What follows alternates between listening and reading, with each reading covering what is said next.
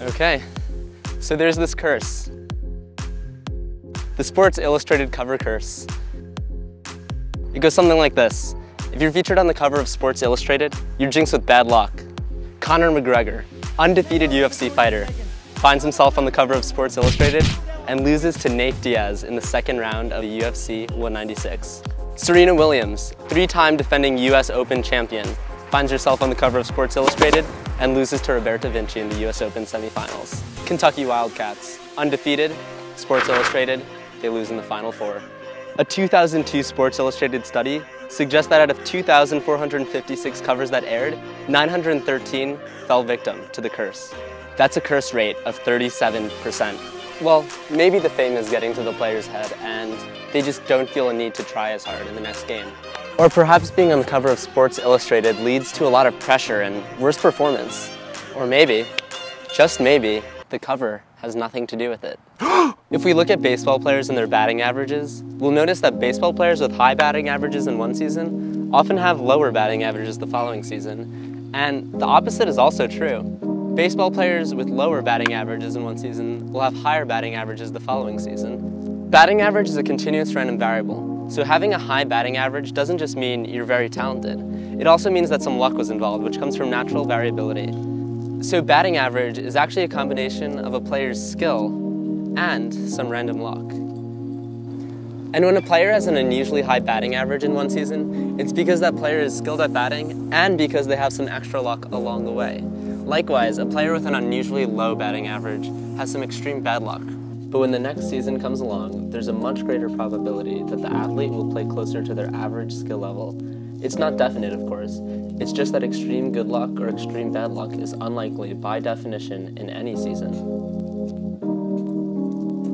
So statistically speaking, we actually expect this to happen, where high-performing players in one season decrease in performance in the following season, and lower-performing players increase in performance in the following season. And this trend is so common that it has a name. It's called regression toward the mean. And because there's an element of random chance in pretty much every aspect of life, regression to the mean is a pretty common occurrence. Think of heredity. You might think that with two very tall parents, it's more probable for their child to be just as tall or even taller. But what's actually the case is that if you have two tall parents, their child is probably closer to average height. Regression to the mean occurs in pretty much every two variable system, where the correlation between those two variables is less than one. And on that note, did you know that the majority of women with high IQs marry men who are less intelligent than them? Shoot, it's 2016, am I allowed to say that? Of course I am. Because men with higher intelligence also, majority of time, marry women with less intelligence. It has nothing to do with gender. Once again, it's just regression to the mean, where the first variable is the intelligence of a person, and the second variable is the intelligence of their spouse, which is more likely to be closer to average intelligence. Regression to the mean isn't just some interesting phenomenon, it's actually something very important to consider for scientific research. Imagine a study where scientists are deciding if a new drug is effective in lowering high cholesterol. They take a group of people, measure their cholesterol, and include the 5% of people with the highest cholesterol to participate in the study. They then put them on the medication, and two months later see that their cholesterol has gone down. Awesome! The drug is a success. Well, not quite. Cholesterol levels, like any other non-static variable, will vary, and some of the people with extremely high cholesterol measured on the first time will have that simply by chance.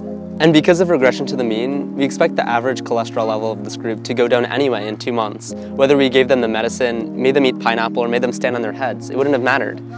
What we really need to do to determine if this drug is effective or not is to take those people with extremely high cholesterol and divide them into two different groups, one a test group and one a control group. And the only way to see if this drug is truly effective is if the test group reduces cholesterol to a greater extent than the control. As humans, we naturally look for causation. Instructors in the Israeli Air Force noticed that after they praised pilots who performed extremely good maneuvers, those pilots would decrease in performance on the next maneuver. And when they gave negative reinforcement to pilots who did poorly, those pilots would often improve. And they concluded that negative reinforcement is better than positive reinforcement. Clearly it made people get better at their task. But you and I both know that's just regression to the mean in action. It has nothing to do with the reinforcement. A side note, positive reinforcement is actually better, uh, but that's a different story for another time. So going back to the athletes from the start of our story, They decreased in performance after appearing on the cover of Sports Illustrated not because of a curse, but because they got to the cover due to some extreme awesome performance that was in many ways due to chance and luck. Chance and luck that probably won't carry over into the future. So next time when you attribute something to be the cause of an improvement or decline, remember that improvements and declines will occur no matter what, regardless of a cause. Yes, it's probably easier to say there's a curse or this alternative holistic medicine made me better. But you have to remember, sometimes it's just regression to the mean. And not always is an explanation needed. Sometimes all you need is probability and chance. Hey, if you liked that video, you might as well check out last week's video over here. And if you're brave enough, I would subscribe by clicking this button over here. I will see you next time. Zuck that.